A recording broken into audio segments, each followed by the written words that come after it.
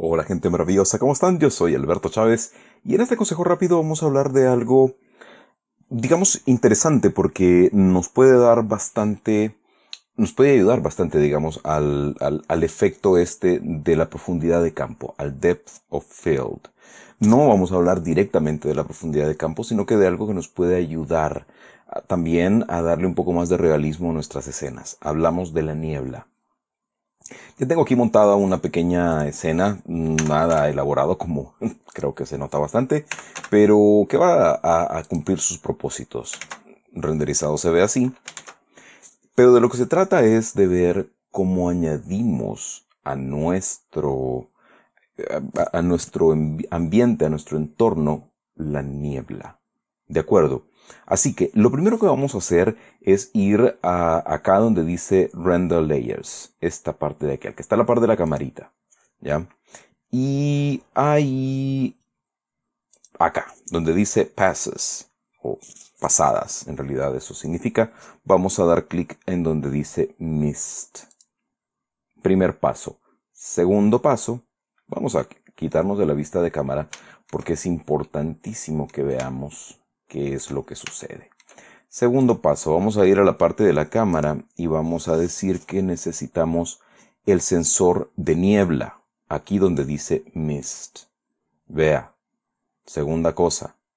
Tercera cosa, vamos a ir al mundo, acá donde dice, aquí, a este eh, iconito que parece un mundo, supongo.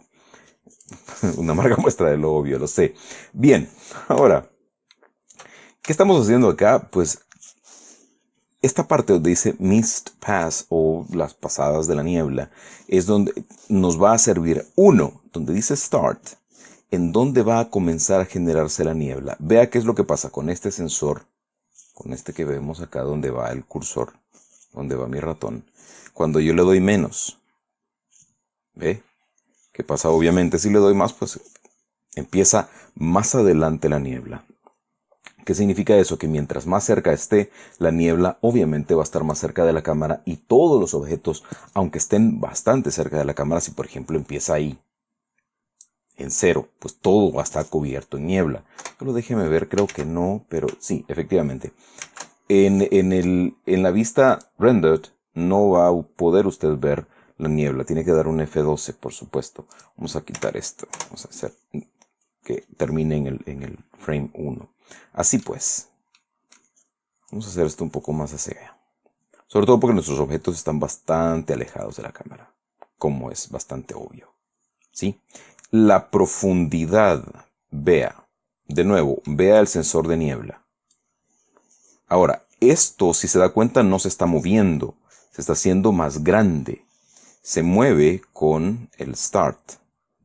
Se hace más grande con depth o profundidad. ¿Qué significa esto? Pues obvio. ¿Dónde va a iniciar? Pues donde nosotros querramos. Ahora, ¿qué tan largo va a ser el alcance de la niebla o qué tan corto va a ser el alcance de la niebla? Pues eso lo vamos a definir donde dice depth. ¿De acuerdo? Ahora, en teoría ahí debería estar, ¿cierto? Vamos a ver si es cierto. Vamos a dar F12 y vea usted. Déjeme cambiar. Así ya está en GPU. Ahí.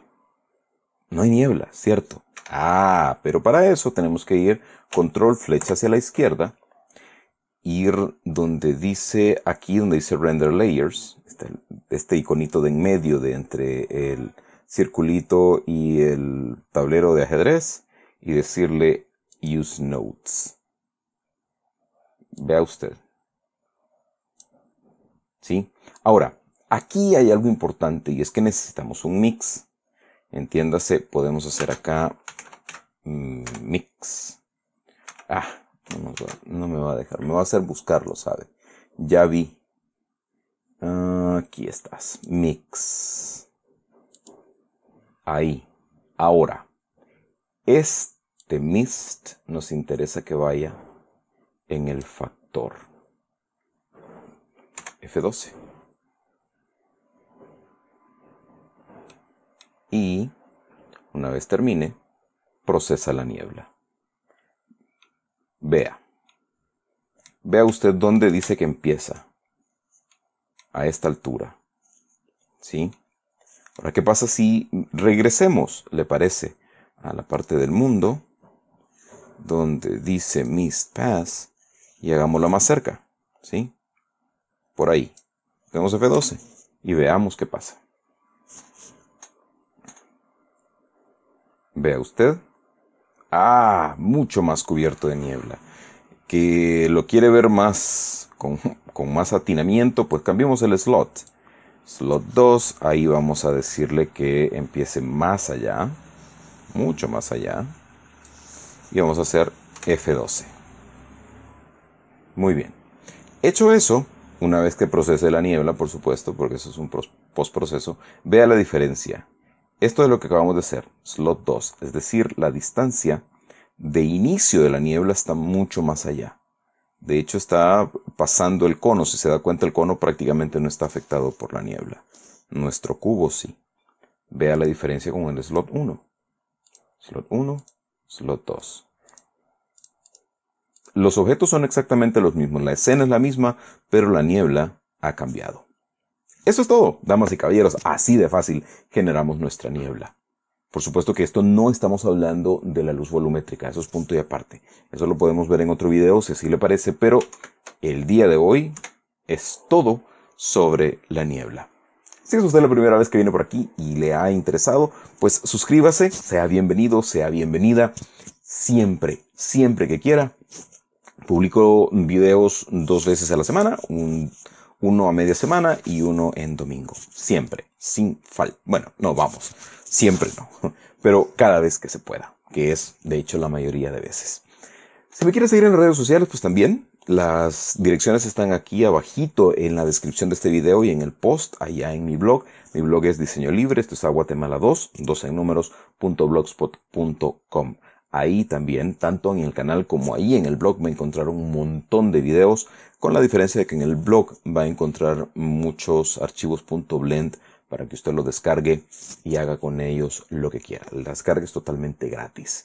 Finalmente, también si se quiere convertir en mi patrocinador, en mi benefactor, pues puede llegarse a mi cuenta de Patreon. La dirección es, bueno, obvio, www.patreon.com, pleca a Guatemala.